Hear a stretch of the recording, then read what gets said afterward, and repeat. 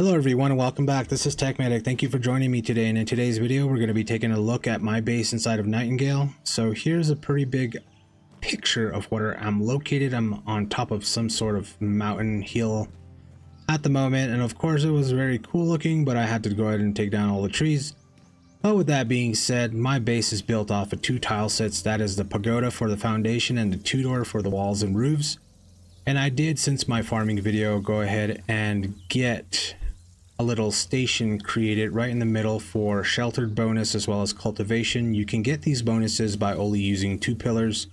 If you use four pillars, it's going to consider it as an invisible wall and it'll go ahead and uh, forego that cultivation buff, which reduces 10 seconds of crafting time off of those seed creations. So let's go ahead and take a look inside. Everything in here has been placed uniformly and of course close to the crafting stations themselves. So that means all these augmentations are taking effect to provide decor recipes. And if you're wondering how to build storage on a utilitarian shelf, you have to build a trunk at the base, use it as a step ladder, and then you can start from the top and go down and place all of your chests. The last chest on the bottom is not going to be uh, tucked away as far as you want it, so it's pretty limited at the moment. As for lighting, we're utilizing a lot of candles in here because candles provide the decrease in crafting time. And of course, the scones and things like that are going to be snappable points on the wall. Unfortunately, we cannot place them as high as we want or in unique locations. The same thing is said for the chandeliers. And like I said, there's going to be a lot of clipping inside of the house itself. I don't know why this is determined as an outside area. Hopefully they can work on the system so that it registers as internal and we don't have this uh, inner side of our base. As you can see here, it is clear for this pathway, but then we have a little chunk right there. So moving on from the focus, enchanting, cooking area, we have our workshop area. Again, keep in mind all the augmentations are close nearby for tools, weapons, and ammunition. And then of course I've got some specialty chests over here for each ammunition type inside of the game. And then of course all the materials that I'll need to in order to go ahead and smelt parts and or weapons and cut gems as well. So let's go ahead and take a look at our next location. The next location is going to be all for lumber and uh, what is it? Stone cutting. So stone cutting will be here creating all those ceramics and things like that that you're going to need in order to go ahead and produce this kind of foundation as well as the shingles that are required for the roof itself. So the last area that we're going to go ahead and take a look at, excuse me, is going to be our bedroom slash tanning and clothing area. So this place is going to be set up for a lot of different use to graft all those hides as well as to get all our threads and fabrics and things like that. And if you want to go ahead and exit out of the screenshot mode, you can hit F4.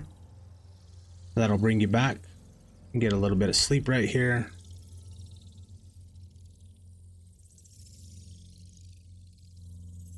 And we're back.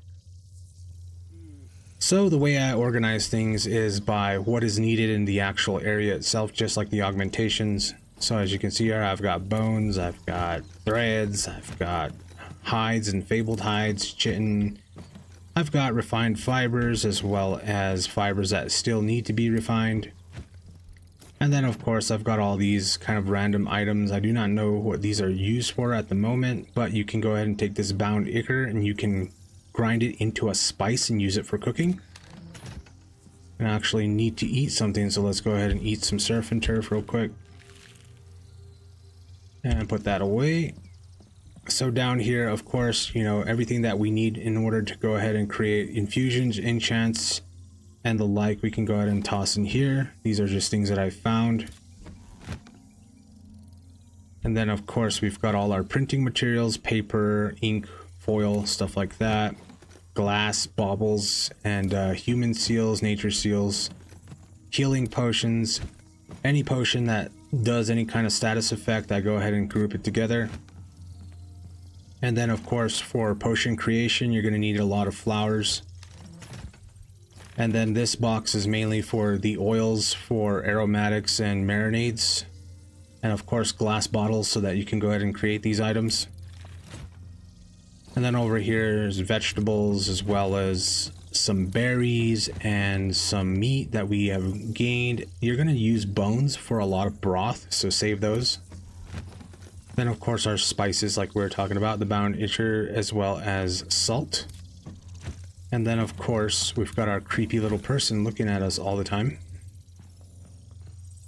Of course our upgrade station that we have so that we can upgrade things to epic quality. And everything is going to need fuel so I have this box kind of centralized for everything. And then of course all our stone products, counterweights, things like that.